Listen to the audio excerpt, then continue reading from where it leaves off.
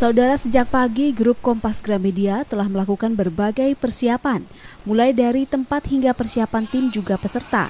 Hal ini merupakan persiapan menjelang dilaksanakannya vaksinasi booster atau vaksinasi COVID-19 tahap ketiga. Tujuannya guna mempercepat proses vaksinasi yang diselenggarakan pemerintah Provinsi Bali sehingga mencapai target sasaran. Kerjasama Kompas Gramedia Group bersama pemerintah Provinsi Bali ini menargetkan 300 peserta vaksinasi booster, di mana salah satu syarat peserta boleh dilaksanakan vaksinasi booster, yakni telah melampaui batas enam bulan setelah vaksinasi kedua. Tim Liputan Kompas TV Gianyar Bali